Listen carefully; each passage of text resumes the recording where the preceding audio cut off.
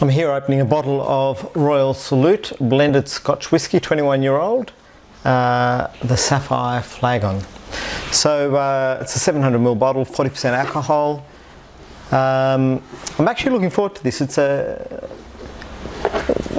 the flagon looks quite interesting. I suspect it's that's probably the most interesting bit, but we'll see.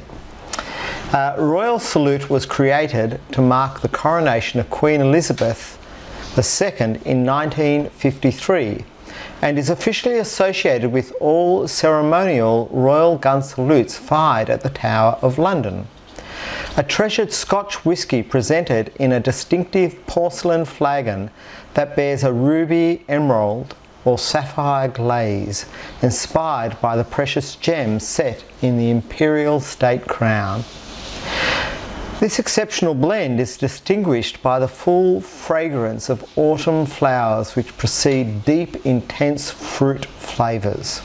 That actually sounds nice. Royal Salute is crafted only with the finest whiskies, adhering to the blend's unique traditions of only using whiskies that have patiently matured for at least 21 years. So it's a, it's a well-aged whisky. This is a whisky of power and finesse.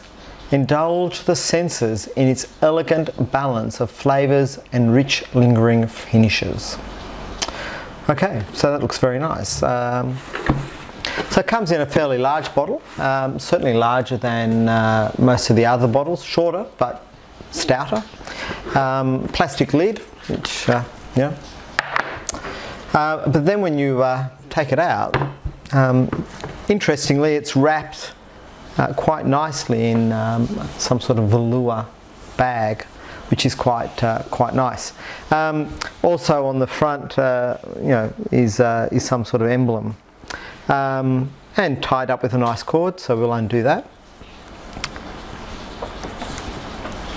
You kind of feel like you're undressing the bottle, which is a bit cheeky.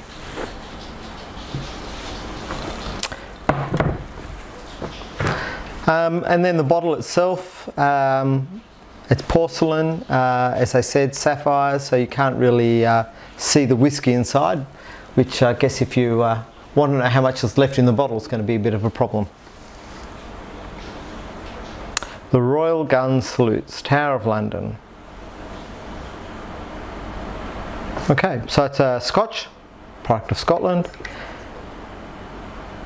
Um, not much else to say, 40%.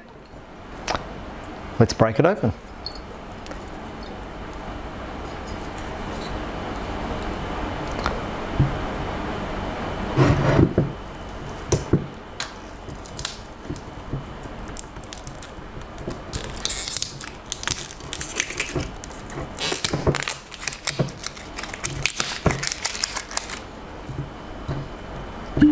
So it's a uh, cork bottle.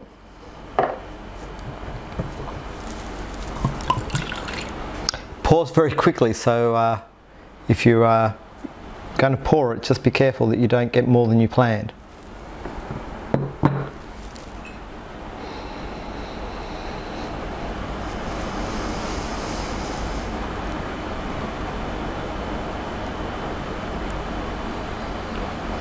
Quite sweet, very, I would have said very sweet on the nose actually.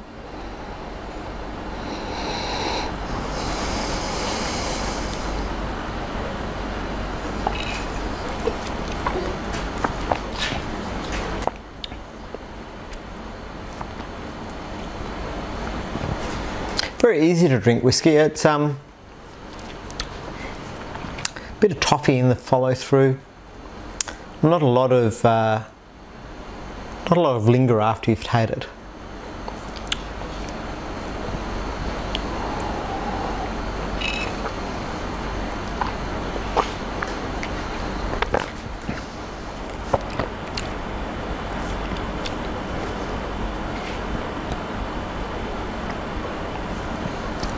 Hint of spiciness there, but it doesn't really.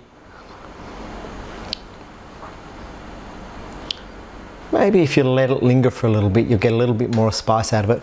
A fairly simple whiskey, um, fairly sweet, toffee sort of flavours, vanilla. And um, yeah, quite easy to drink. Cheers.